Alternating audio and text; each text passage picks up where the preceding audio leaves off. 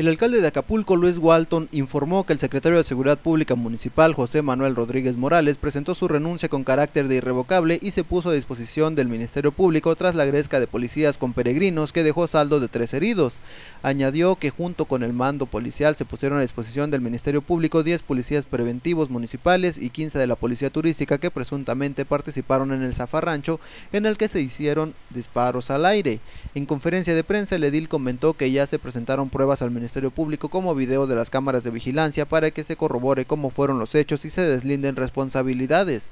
Asimismo, se les practicará a los agentes las pruebas de rodizonato de sodio para saber si dispararon sus armas durante la peregrinación de comerciantes del mercado central que llegaban a la Catedral de Nuestra Señora de la Soledad, esto en el zócalo del puerto de Acapulco. Condenó el hecho de que policías municipales hayan disparado al aire luego de que algunos peregrinos lanzaron cohetones y al querer impedírselo se negaron. También comentó que quedará como encargado de la Secretaría de Seguridad Pública René Mota, actual director de la Policía Preventiva y Turística. Expuso que a los heridos se les atiende en clínicas de la zona. Walton Aburto comentó que es necesario dar agilidad a la depuración de los 500 policías municipales que reprobaron el examen del control de confianza para darlos de baja.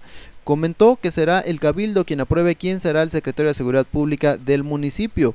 Insistió que el Ministerio Público va a deslindar responsabilidades y habrá gente responsable. Aquí no hay impunidad. Se va a castigar a quien sea responsable, puntualizó el presidente municipal. Para GM Noticias, Avisaí Clavel.